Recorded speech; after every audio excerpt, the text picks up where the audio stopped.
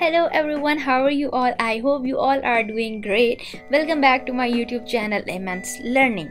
Here it's me ikra your daily host. Expectantly my all videos are so productive and advantages for all of you.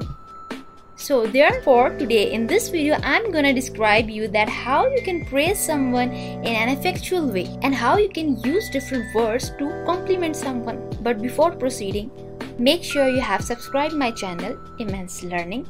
So press the bell icon for many more updates of easy learning. Let's get started. Do you ever think how do you genuinely compliment someone? You would be like, you are so beautiful.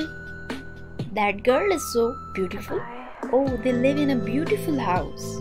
Don't you think everywhere you are using beautiful, beautiful? It's get boring.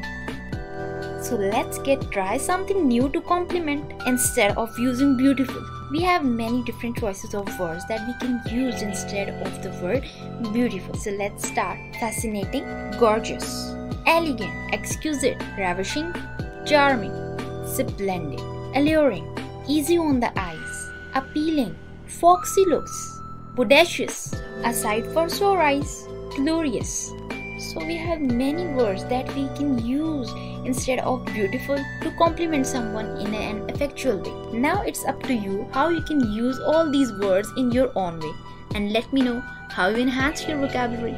Hopefully this will be very effective for you and you have understand different words and the usage of words instead of beautiful. This is enough for today so don't forget to subscribe my channel. Thanks for watching.